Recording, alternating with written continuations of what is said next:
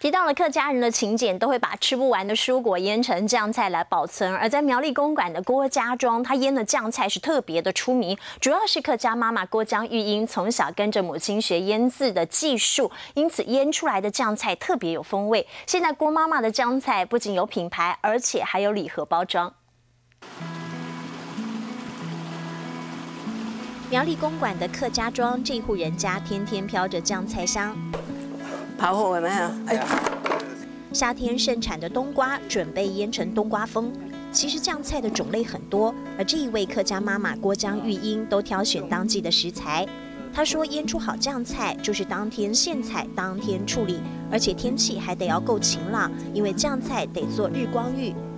晒好就翻过来啊，到下午就收起来，就马上就放起，起放下去。就盖起来就最新鲜，就不会发霉。去水分，没有湿气，酱菜才能保存的久。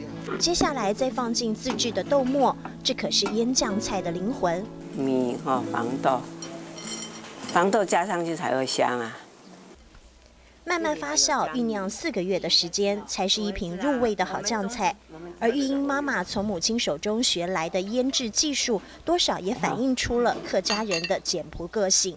以前的人哈，就是说没有冰箱嘛，哈啊，那么季节性就是说有什么菜出来了，吃不完了要怎么办呢？就我们的老祖先智慧很好，就是把那个腌腌起来，慢慢吃。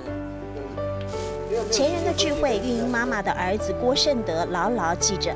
从小看妈妈腌酱菜，就喜欢当个小帮手，学了腌酱菜的功夫，还把妈妈味量产销售。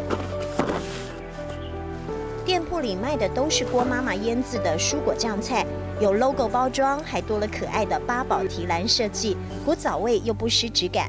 妈有讲啊，要有健，哦，这个东西老人家呢，也实在他们搞大，所以我们变得安尼安尼精神，哦，嗰那东西呢，我尽量改良多个，好，搁较好，甚至我干呐、唔干啊，将我的姊妹他家做过的成熟。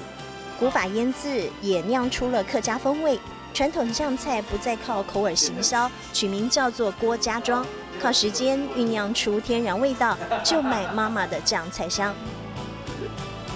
入夏到霜寒的发酵，酝酿天然好风味。母亲给儿女的传承，淬炼客家简朴食。